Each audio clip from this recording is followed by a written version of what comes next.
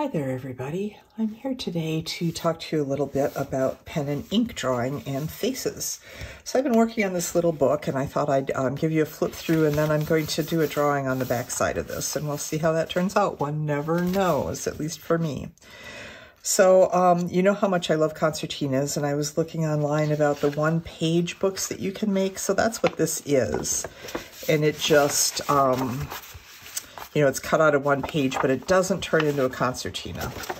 It folds, let's see if I can get it folded back right again. There we go. So it folds into a regular book, and this is what we've got here. So I'm, as you know, always interested in abstracting things um, and catching the mystery in things, and I think um, value contrasts really work with that. So what I do when I do these, I just go on to Unsplash, which is a source online for non-copyrighted images. And I find interesting faces there, and then I draw them in a way that um, distortion happens. Like this guy's face is all smooshed and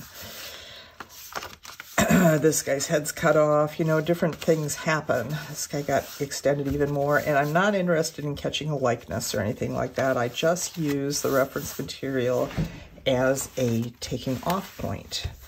So I saved here on my iPad a uh, another face that looked interesting to me, and there it is. So that's going to be my um, my reference photo. For some reason in this book, I used all men. I usually draw women, but that makes it interesting to me. I've got here a fountain pen. Um, you know, nothing special about it. It's just an inexpensive fountain pen because I thought it was interesting. And what I'm going to do is start out, I start out with something that creates um, a little bit less control. So I'm going to do a, um, see, I think I want his face. I'm just thinking about just sort of where it's going to end up. And I'm going to do a continuous line drawing and I'm going to do a modified blind contour drawing at the same time. So I am looking at my reference material about 90% of the time and looking at um, the photo. uh, about 10% of the time. Sorry, this is pretty tough to do. And I'm not picking my pen up. So this is coming up here. Let's see. And the reason I like to do drawings like this is because we think we know what faces look like. We think we know what everything looks like. We have this image in our minds. And, okay, so I'm going to pick this pen back up. This actually, that's sort of, whoops, lost in, lost in the dark there. Uh, we think we know what things look like. And so modified contour drawings require us to look a whole lot at what we're drawing without um, without preconceptions because we can't look at our paper very much. So I'm, I'm looking now to just replace my pen. And I'm going to come this way. Let's see. And this is just the start. Okay, I'm going to come back in and do, um, then put the details in that way. That's a creepy looking eye. Wow. So like I said, I never know. The drawings that I just showed you in this book, some of them I really like and some of them I do not like at all. Um, and it doesn't matter that much because it's just about the process. I really enjoy the process of um, drawing in a way that removes my control. and in abstracting things that interest me, and I find the human face to be extremely interesting. So what I'm going to do now, okay, so clearly no, not much likeness there, right?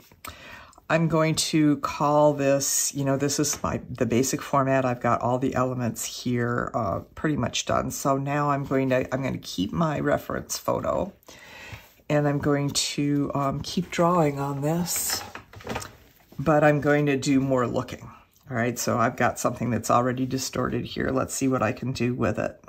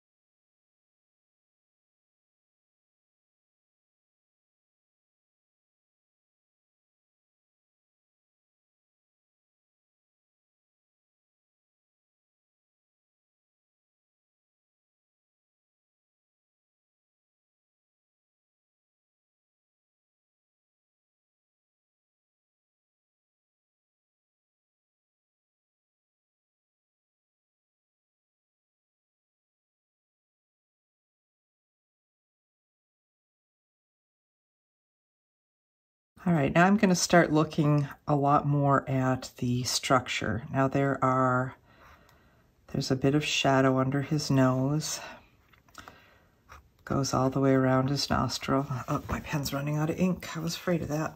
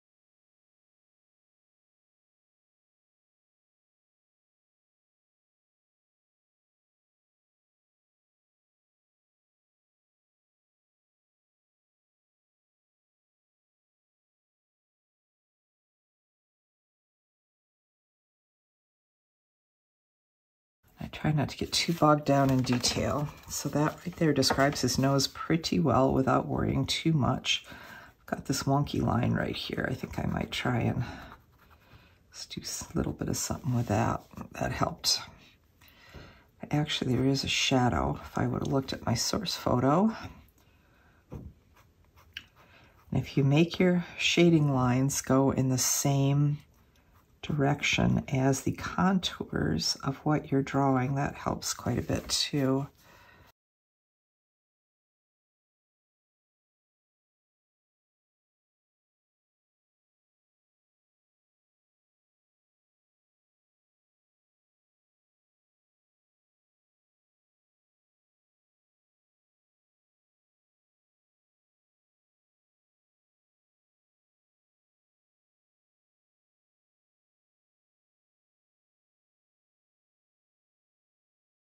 Drawings always look more natural and more interesting when, um, you know, so many of these things, they're not really lines. A line, it's an edge of a shadow more than a line, or it's an edge of a shape.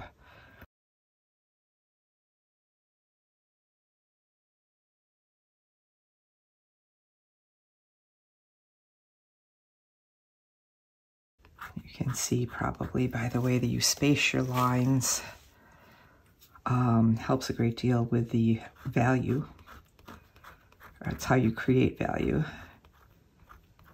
Lines closer together appear darker. Um, you'll see, okay, the highlight of his forehead is right here. So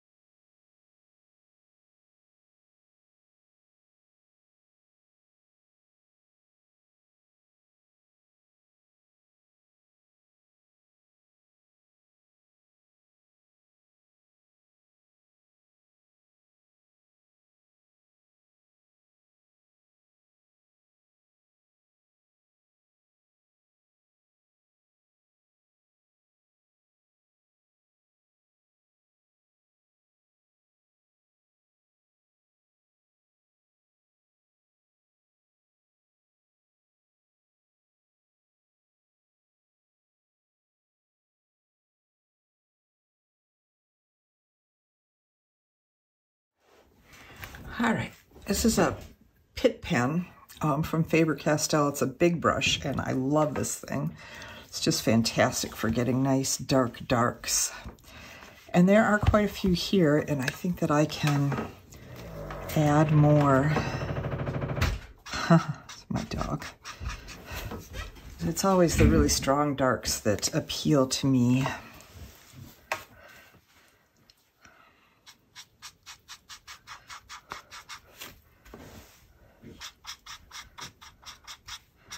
And this goes a heck of a lot faster than trying to get a fountain pen to um, cover large areas.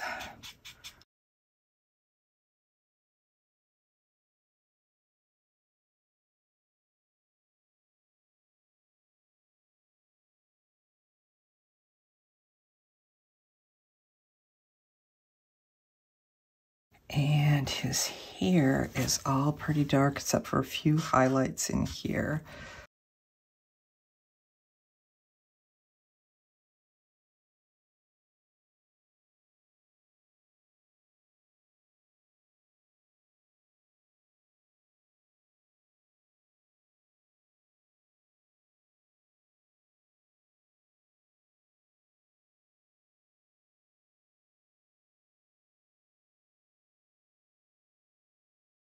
Tiny highlights along the edge of his beard, and then this is quite dark. I've got the angle of his face wrong, but let's see. It's like almost completely black this way.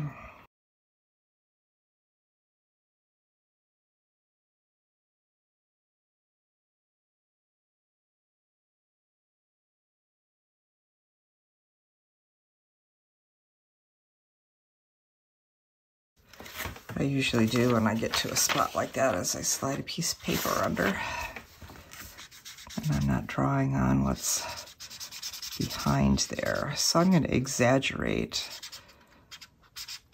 how dark this is. Another way to make figures really pop out from their background is to have the background behind an area that's light on the figure to be very dark.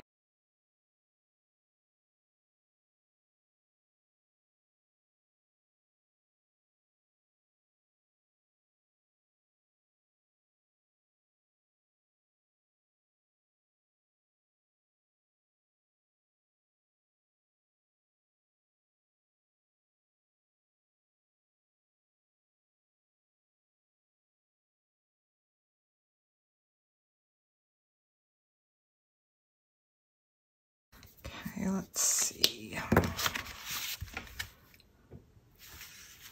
Uh, I think there's something in this eyelid needs a little something.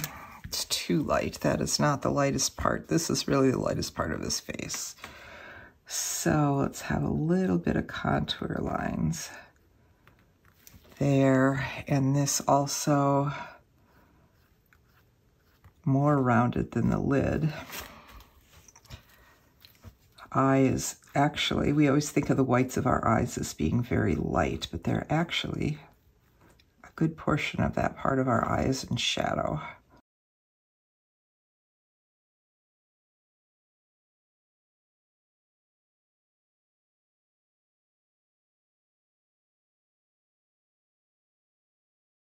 So I'm kind of trying to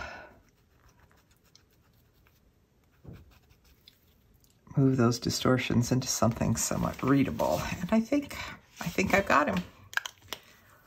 I'll have to look at it again later, but I think I'm pretty happy with that. Yeah, so I showed you all these pages. Did I show you the center? There's the centerpiece. And I was thinking with this design, it's entirely possible. There we go. Let me zoom out just a little bit for you. There we go.